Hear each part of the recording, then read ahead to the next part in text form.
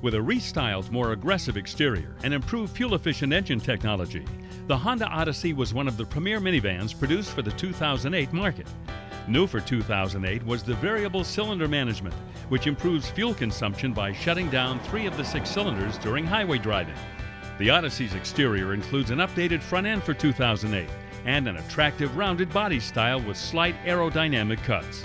Standard equipment on the base LX includes manual sliding doors. Move up to the EX or higher for power sliding doors and side mirrors that automatically tilt down to better see the curb when backing up. The spacious and comfortable interior of the 2008 Odyssey has state of the art safety features that include a backup camera integrated into the rear view mirror in the upper trims. The 2008 Odyssey earned top five star ratings in all NHTSA front and side impact tests. The Odyssey is powered by a 3.5 liter V6 engine. Here are the estimates for fuel economy.